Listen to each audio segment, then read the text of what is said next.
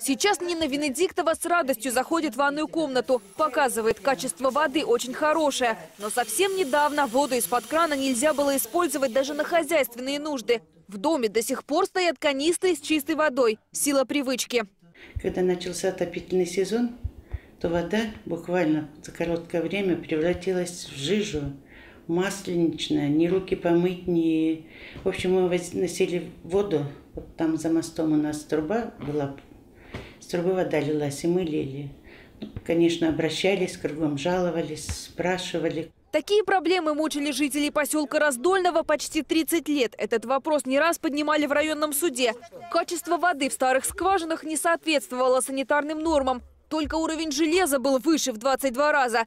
Выход нашли, пробурили новую скважину. Мы правдами-неправдами изыскали средства и забурили скважину. Провели геологические работы, нашли скважина. Вот одна специалист-геолог сказал, что вот эта скважина у нас, она 17 кубов дает воды. На данном этапе мы ее запустили. Ну, тю-тю.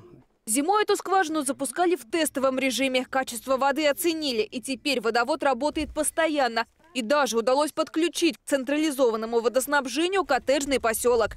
Место, где пробурили новую скважину, очень богато подземными водами. Поэтому теперь этот источник снабжает практически половину поселения. Но этого все же недостаточно. Местные власти приняли решение пробурить еще одну скважину. И тогда проблемы с водоснабжением для жителей Раздольного окажутся в прошлом. Дарья Орлова, Константин Селезнев, Панорама.